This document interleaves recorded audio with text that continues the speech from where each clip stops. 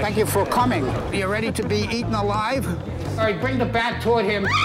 Uh, Ricky. All right, Linda, you run toward the web. You st- sticky, Linda. All right, grab her, Jason. Pin her against the wall. Slap him again, Linda. All right, good. I think the kids are so inspired when they have him as a teacher that they come in and everybody gets a part. There's there's a role for every person. Now I think some of them are probably horrified and leave. Your tongue will come out. Suddenly you're hungry. All right? Yeah. A lot of action going, a lot of people. It's like a Hammer horror picture.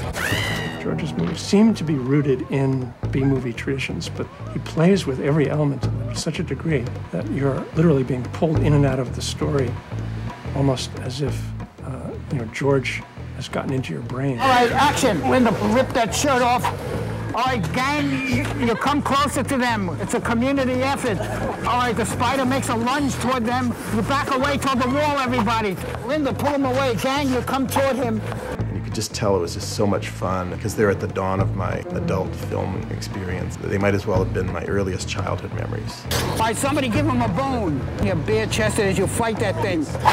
All right, let's get a shot of that spider. Who wants to operate that atrocity? Go out and try your luck. You might be Donald Duck. Hooray for Hollywood.